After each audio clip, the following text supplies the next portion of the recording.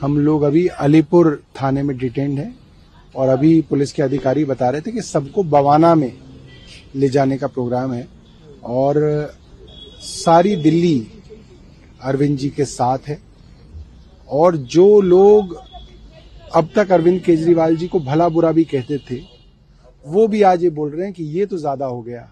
लड़ाई राजनीतिक थी, राजनीति सालों से देश में चल रही थी, मगर इस तरीके से जेलों में डाल के प्रतिद्वंदियों को सड़ाना जो है, ये तो वैसा हो गया जैसे रूस में नॉर्थ कोरिया के अंदर किया गया। रूस के प्रधानमंत्री राष्ट्रपति पुतिन जो हैं, हाल ही में अपने आम चुनाव में सत्तासी प्रतिशत वोट से जीते हैं। क्यों जीते हैं? क्योंकि जितनी अपोजिशन थी, उनको उन्होंने जेल में डाल दिया। उनके जो सबसे बड़े विपक्षी नेता थे, वो कुछ दिनों पहले जेल में मर गए। तो इस तरीके की जो चीज़ है, ये देखी गई, बांग्लादेश में भी हो रही है। पाकिस्तान में इमरान खान को जेल में डाल के जो है, नवाज़ शरीफ के भाई जो हैं, वो जो है, वहाँ के राष्ट्रपति प्रधानमंत्री बन गए हैं। बांग्लादेश में भी ये देखा जा रहा है। नॉर्थ कोरिया में भी किंग जॉन जो है, किम जॉन, वो भी चुनाव कराते हैं। मगर जब सारे विपक्ष को आप जेल में डाल देंगे तो जनता की लड़ाई कौन लड़ेगा, जनता की आवाज़ कौन उठाएगा?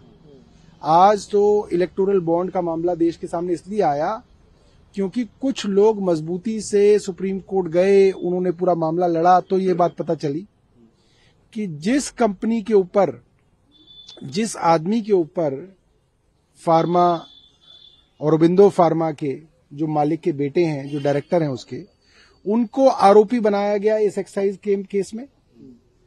उस आरोपी की कंपनी से भारतीय जनता पार्टी को इलेक्टोरल बॉन्ड से चंदा मिला। जिस दिन वो गिरफ़्तार हुए, उसके पाँच दिन बाद भारतीय जनता पार्टी ने औरबिंदो फार्मा से चंदा लिया। उसके बाद जब वो सरकारी गवाह बन गए तो सरकारी गवाह बनने के बाद 25 करोड़ फिर भारतीय जनता पार्टी ने उनसे चंदा लिया। तो अगर एक आदमी के ऊपर और उसकी कंपनी के ऊपर पीएमएलए है, यानी कि वो मनी लॉन्ड्रिंग में है तो आप अगर उनसे पैसा ले रहे हैं तो प्रोसीड्स ऑफ़ क्राइम तो आपके पास तक पहुँच रहा है, भारतीय जनता पार्टी के पास पहुँच रहा है। आप कह रहे हैं अरविंद केजरीवाल के खिलाफ सबूत ढूंढेंगे। आपके खिलाफ तो सबूत सबके सामने है।